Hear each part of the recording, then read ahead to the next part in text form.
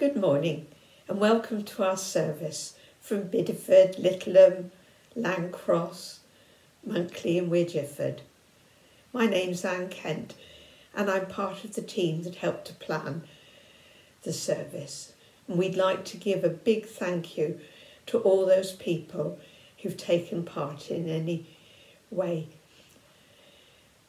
We especially want to thank Ben Dewig for all the technical support he gives us. Let's begin our service with a psalm. Psalm 100. Shout to the Lord, all the earth. Serve the Lord with joy. Come before him with singing. Know that the Lord is God. He made us and we belong to him. We are his people, the sheep he tends. Come into his city with songs of thanksgiving, into his courtyards with songs of praise. Thank him and praise his name. The Lord is good, his love is forever, and his loyalty goes on and on. Let's pray. Thank you, Father, that right now in our homes we can praise you and know that you are with us as we meet to worship. Bless this time together and help us to hear you speaking as we worship you. In Jesus' name, Amen. Our first song echoes the psalmist's words, Shout to the Lord, Let's sing, My Jesus, my Saviour. Mm-hmm.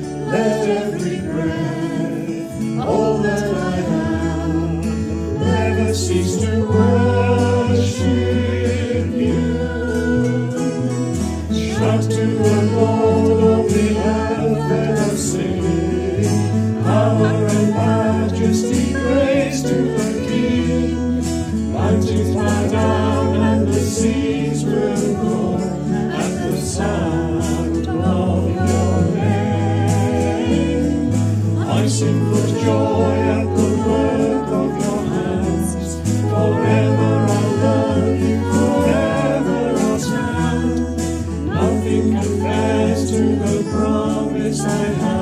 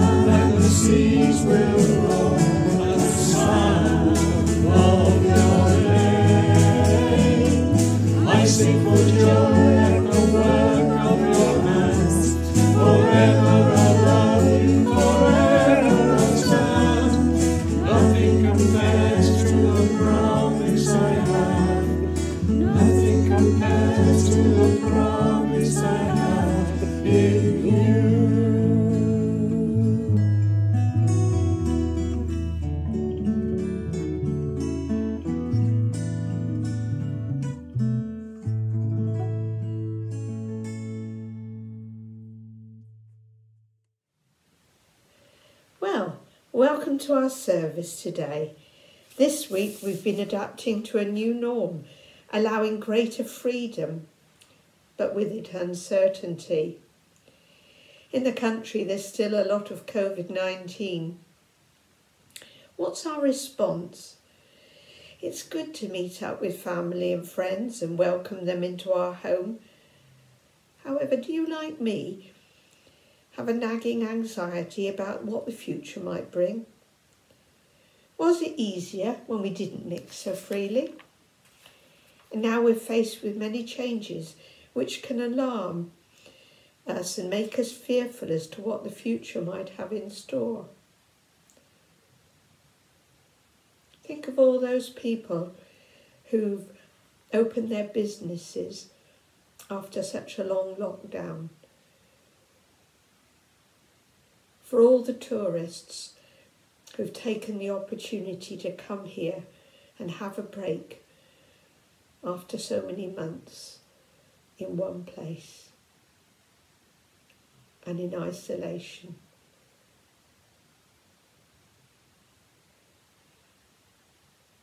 We need to be honest about our feelings because Psalm 100 says, The Lord is good, His love is forever. Let's join together as we confess how we feel. Lord God, you have made a wonderful and beautiful world. We thank you that here in North Devon we can all enjoy your world at this difficult time. As more people come to holiday in the West Country and businesses and attractions open, we confess to you our fear of what these changes will bring. Sometimes we are less than welcoming to others.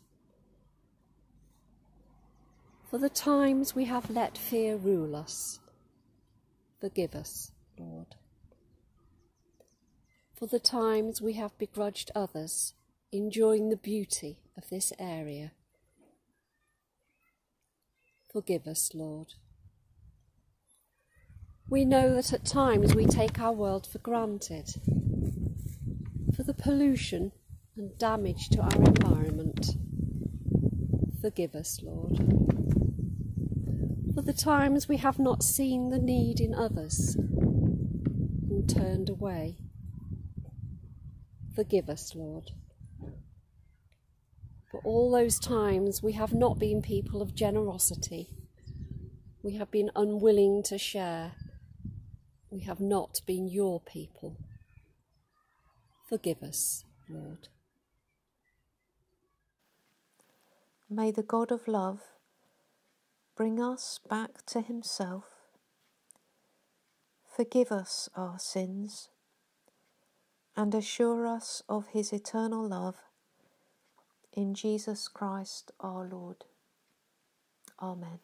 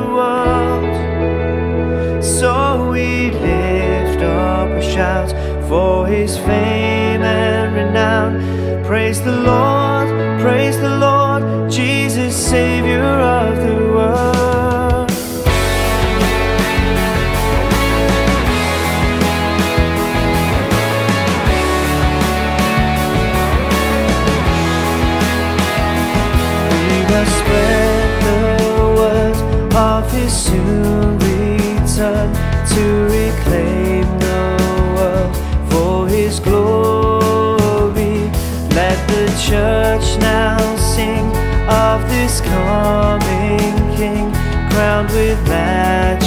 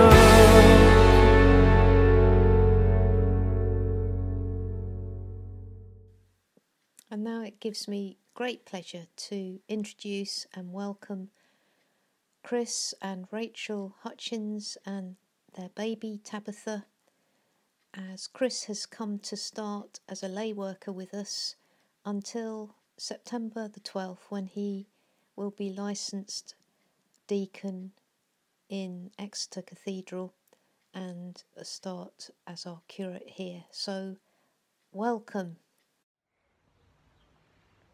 Hi everyone, my name's Chris I'm Rachel. This is Tabby.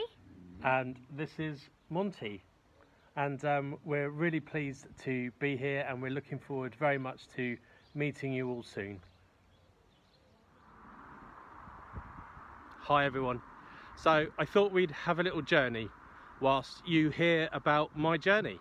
Um, so I grew up in a Christian family um, and uh, grew up in Slough and then moved to Stoke Poges.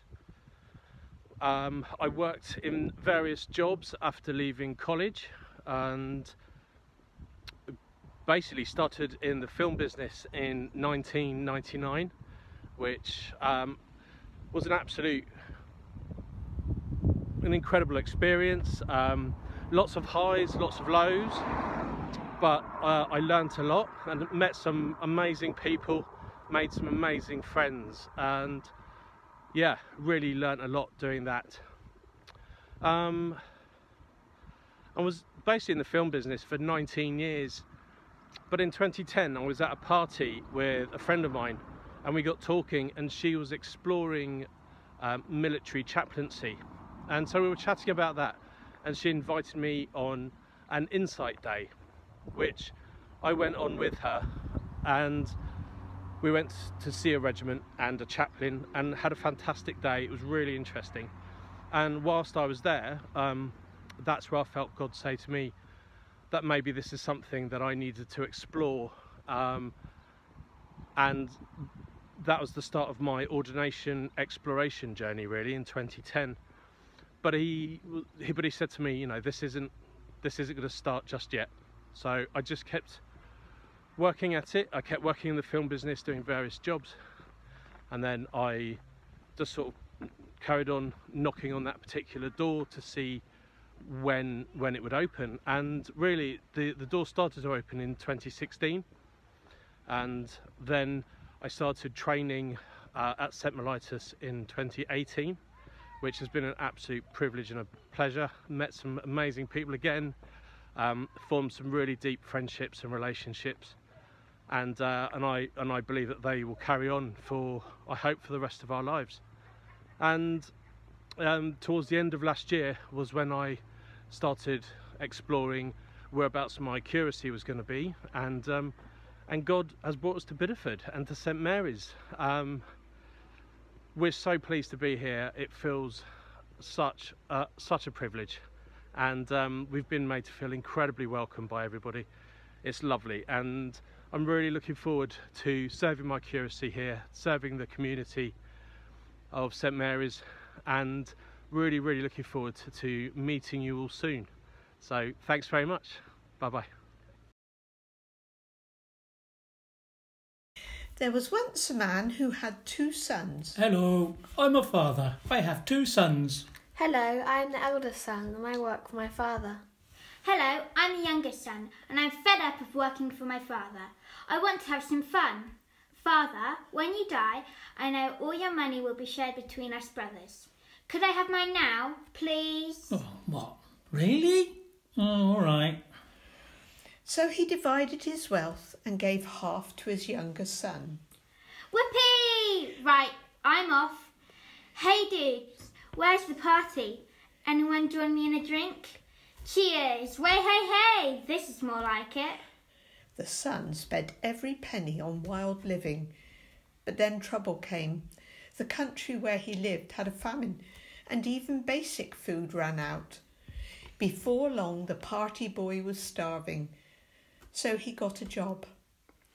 Okay, I need money, but looking after pigs? Really? Actually, that food they're eating looks pretty good. I might just eat some of that. What am I doing? I'm so hungry. I want to eat pig's will. Finally, he came to his senses. My father's workers have plenty to eat, and here I am starving to death. I will go to my father and say to him, Father, I have sinned against God in heaven and against you. I am no longer good enough to be called your son. Treat me like one of your workers. The younger son got up and started back to his father. But when he was still a long way off, his father saw him and felt sorry for him. Look who it is! I've spent these long months waiting and longing, and finally he's coming back. My dear son. Oh, he looks dreadful, so thin and weak. He ran as fast as he could to meet his son and hugged and kissed him. My son, my precious son, you're home. Let me hold you. Hang on a minute, Dad. Wait. Look, I sinned against God in heaven and against you. I'm no longer good enough to be called your son. Ah, you've always been, you always are, you always will be my son. You servants, get a robe to replace these rags. Get a ring to prove he's my son. Put sandals on his poor cut feet. Prepare the best calf along with the banquet, for we must celebrate. My beloved son was dead, but he's alive again. He's been lost, but now he's found. So the celebrations began. But out in the barn, as the sounds of music and dancing reached his ears, the eldest son was not really in the party mood. A servant had told him his younger brother was back, and he was so angry he wouldn't even go into the house. His father went out to him. My son, what are you doing out here? Come in, celebrate. Please don't stay outside. For years I have worked for you like a slave and have always obeyed you, but you've never given me even a single goat, so I could give a dinner for my friends. This other son of yours wasted money on prostitutes, and now that he's come home, you order this the best calf to be killed for a feast. This made the father very sad. Oh, my son, you are always with me, and everything I have is yours. But we should be glad and celebrate. Your brother was dead, but now he's alive. He was lost, and now he's been found.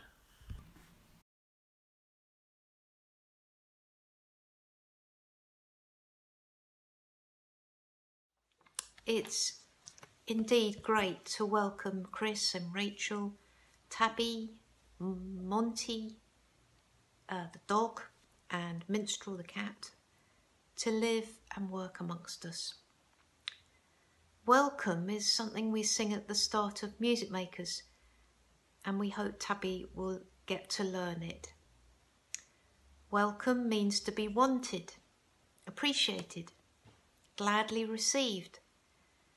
And we definitely feel and think all those things in saying hello and welcome to Chris, Rachel, and Tabby.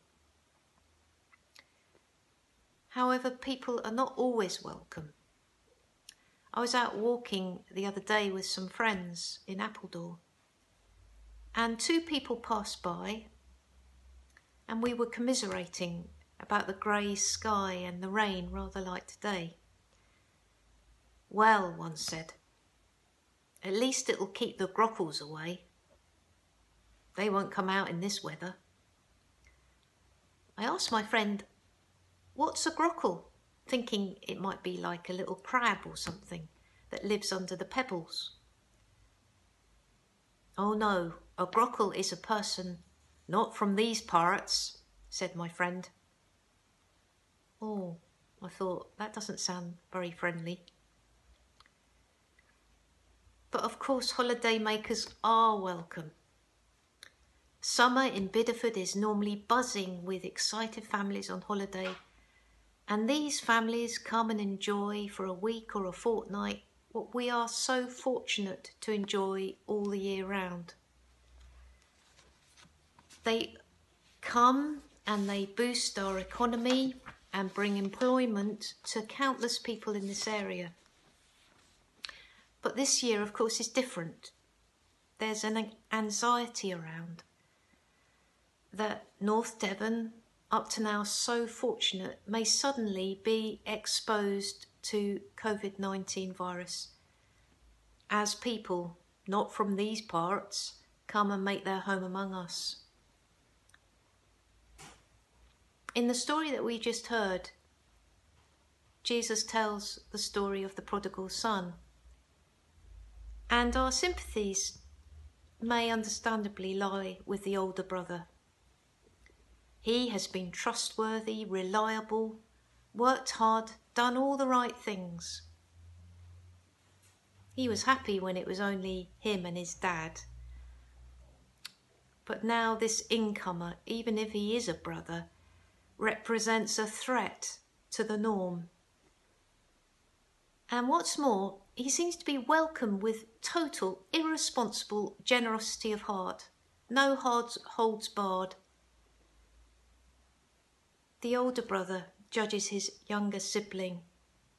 He resents him and he thinks his dad is foolish and stands. And so the older brother stands aloof, as we see in this painting by Rembrandt. But our sympathies may also rest with the younger brother. And this is a painting of um, it's it's a self-portrait of Rembrandt when he was in his younger days, and you can see he's having a good time. The younger brother is just excited about life. Great, we can go out to the pubs. Life is for living. But this younger brother is immature and there is a great error of judgment. He spends his father's inheritance and in his day, that was like wishing his father dead. It was an unforgivable thing to do. Of course, life is for living, but his living leads him, the younger brother, to move further and further away from the one who truly loves him. And before long, he is an alienated from his family, from himself.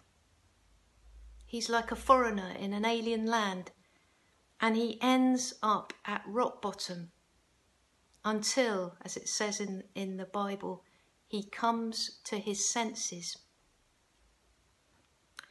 now, Chris and I are going to do a lot of theological reflection this year. Well, Chris, I just sit in really. Um, but in a way, that's uh, a bit like coming to our senses when we think of our situation not on our own, but we actually think of our situation with God. And that's what we do in, in prayer and as we reflect on things in our lives when we feel, uh uh-uh, uh, I'm not feeling very peaceful here, I'm not feeling very joyful. Now, why is that? And we do that with God. It's um, coming to our senses, but in a safe place with God. Well, anyway, this younger brother comes to his senses, but he's far away from God. But from that moment, he turns around and he moves closer and closer to his father. The generosity of the father is in total contrast.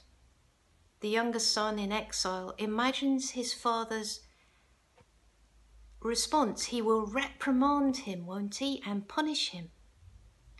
But instead, he finds his father has been out every day looking for him, every day wanting him, yearning for him to come home. And he does something an old man should not do in, in this culture. He runs towards his son when he sees him on the horizon coming towards him, with his arms out wide. He embraces him. And he gives him the fatted calf and throws the most joyful of parties. Of course, Jesus is making a point here this is total unconditional love and acceptance. You are wanted. You are appreciated. You are gladly received. You are welcome. That is God's relationship with us.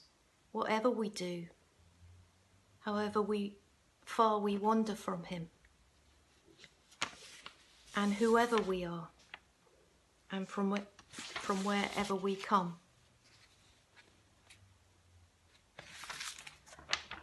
I would love to move this story on a bit. How did things pan out? Did the older brother ever find joy in letting go of his resentment? Did he ever forgive his younger brother? Did the younger brother find peace in hearing how much he is loved? Did the two, as they grow older, begin to take on the characteristics of their father, loving from that place of having been loved totally without condition. The answer to this parable lies obviously in that movement towards respect, respect for each other, and translated into our local situation and context, this involves giving a warm welcome to people on holiday, receiving them generously without being governed by fear, which is so easy to do at the moment. Enjoy Devon, this wonderful place. This is your break. This is your holiday. You deserve it. Come and have a rest. You are welcome. But also, please respect us. Respect us by keeping your social distance, but come close to us, be part of us. Let us learn from each other what it is to be community, allowing God, the Father's heart of welcome, to occupy our own.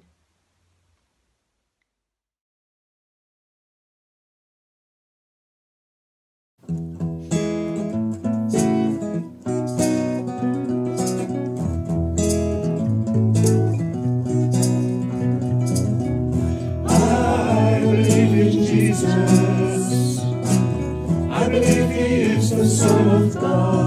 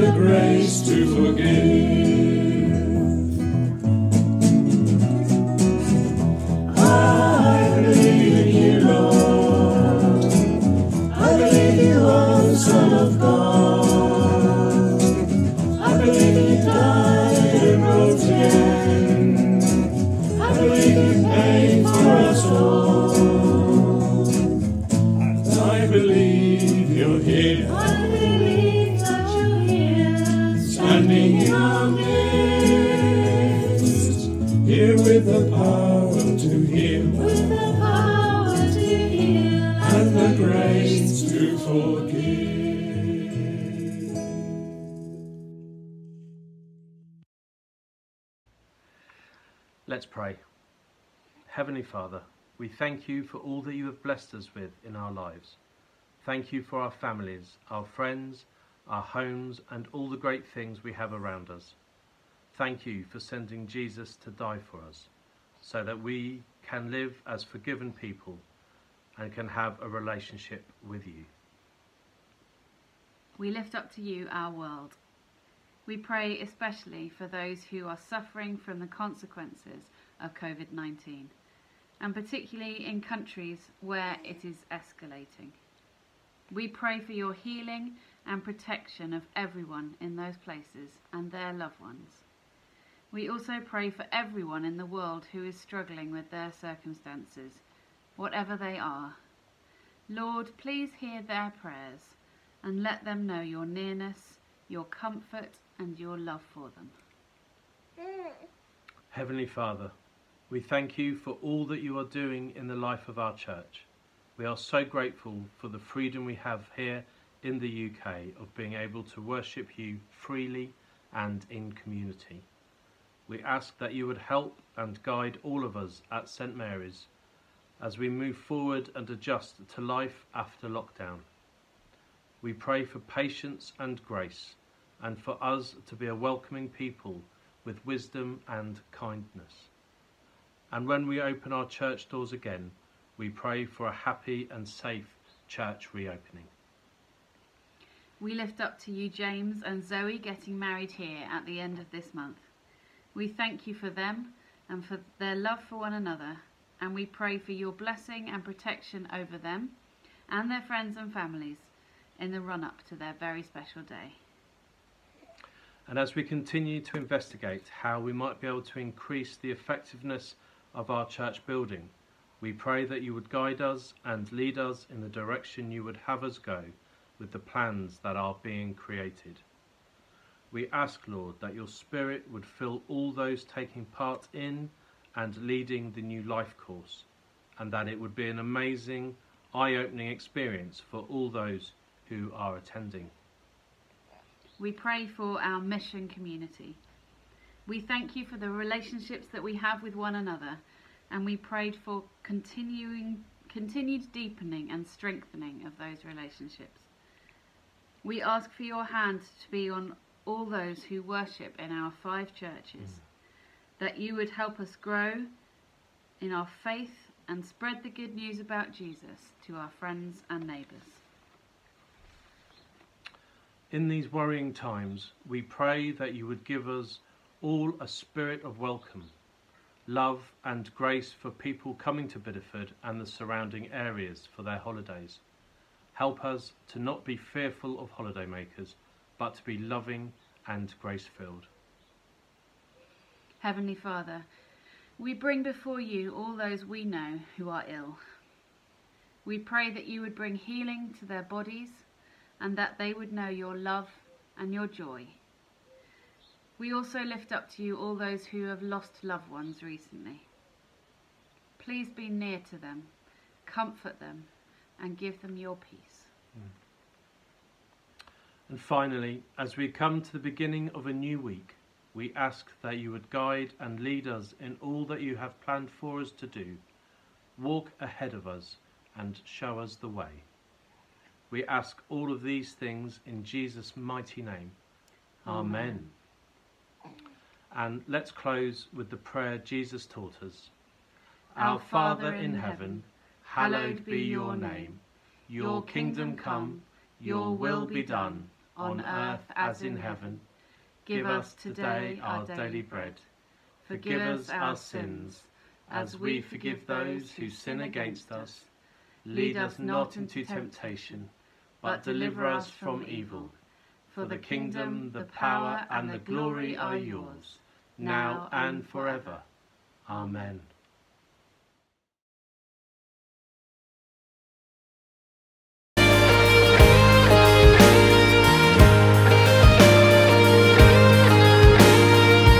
From the highest of heights to the depths of the sea.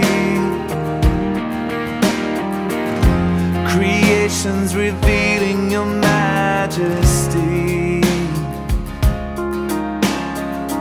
From the colors of fall to the fragrance of spring.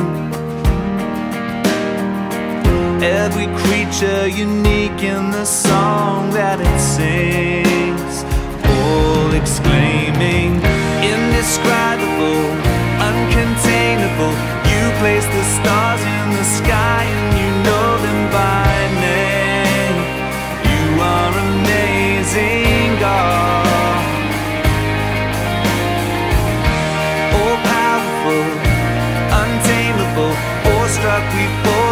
our knees as we humbly.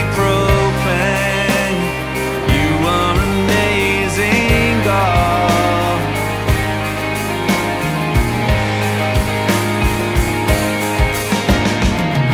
Who has told every lightning bolt where it should go? Or seen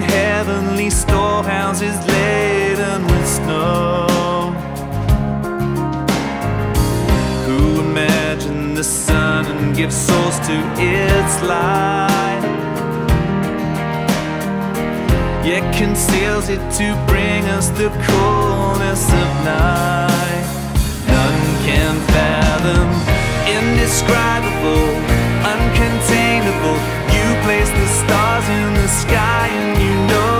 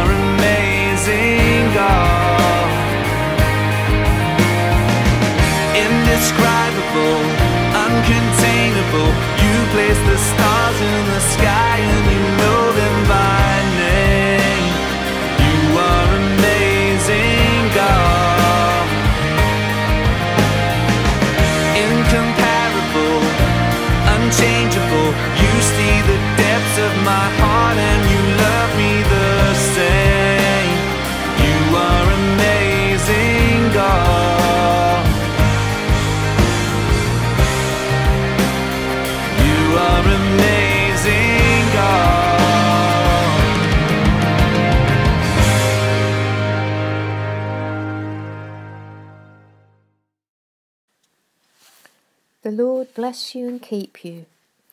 The Lord make his face shine upon you and be gracious to you. The Lord turn his face towards you and give you peace. And the blessing of God Almighty, the Father, the Son, and the Holy Spirit be among you and remain with you always. Amen.